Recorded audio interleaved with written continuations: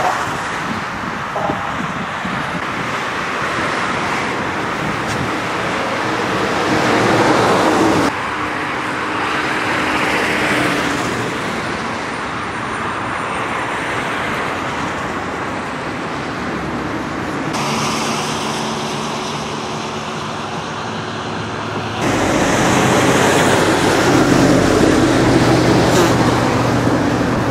Hello there. Here I am again. I'm in uh, China, and this time I'm in the, very big city called Chongqing, and it's a very, very big city. And I'm, right now I'm standing on what, what is the largest arch bridge in the whole wide world. I'm standing right in the middle, and it's a very big bridge actually.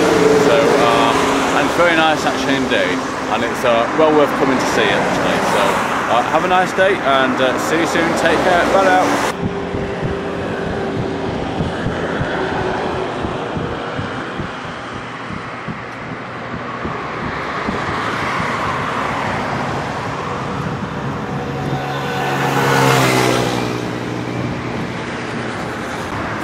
Oh, and just before I leave here, I just thought I'd mention it's actually larger than the uh, Sydney Harbour Bridge in Australia. So there you go.